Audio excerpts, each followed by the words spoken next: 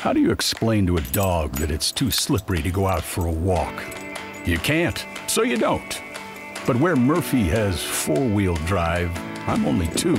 So when it comes time for his walk, I grab my STABILicers. I picked up my first pair a few years ago. They're incredible. It's like wearing studded snow tires everywhere I go. And I can keep an eye on Murphy and my surroundings. It takes about 20 seconds to put them on, and even less to take them off. After a few minutes, you completely forget you're wearing them. They just work.